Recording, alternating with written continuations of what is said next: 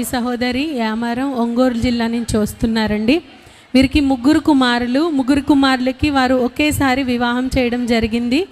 వివాహం చేయడం జరిగినప్పుడు ఆఖరి కోడలు గర్భిణీ అయినప్పుడు కూడా తన కడుపులో ఉండగానే గర్భం పోయిందన్నారు. అందరూ అనేవారంట ముగ్గురికి ఒకసారి వివాహం చేశారు. ఇలా అయితే పిల్లలు అవి పుట్టరని అన్నప్పుడు తను ఎంతో బాధపడి టీవీలో వాక్యం చూసి ఇక్కడికి తైలాభిషేకం చేయించుకోవడానికి వచ్చారండి. తైలాభిషేకం చేయించుకుని వచ్చిన వెళ్ళిన నెలే తన చిన్న కోడలు ఆఖరి కోడలు గర్భం దాల్చింది కుమార్తె పుట్టింది. తర్వాత రెండో కోడలకు కూడా గర్భం వచ్చింది. వచ్చిన మళ్ళీ తను కూడా కుమార్తె పుట్టింది. అయితే ఇంకొక బాధ ఆఖరి వాళ్ళు పిల్లలు పుట్టారు. పెద్ద కోడలకి పిల్లలు లేరని అందరూ అంటుంటే బాధపడి ఇక్కడ దైవజనుల దగ్గర చెప్పుకున్నప్పుడు దైవజనులు అభిషేకం చేసి ఫలం ఇచ్చినప్పుడు దేవుడు కృప చూపించారు. మూడు సంవత్సరాలకి తన పెద్ద కోడలు కూడా గర్భం దాల్చింది. ఇప్పుడు తన ఏడో నెల గర్భిణీగా ఉంది.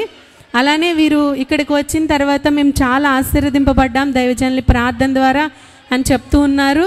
వారు ఒక ట్రాక్టర్ కొనుక్కున్నారంటే ఒక కారు కొనుక్కున్నారు అలానే జేసీబీ కూడా కొనుక్కున్నారు. దేవుడు వీరి జీ వీరి కుటుంబంలో కానీ వీరి కుమార్తెలు కోడళ్ళ విషయంలో కుమారుల విషయంలో కూడా ఎంతో కృప చూపించారు.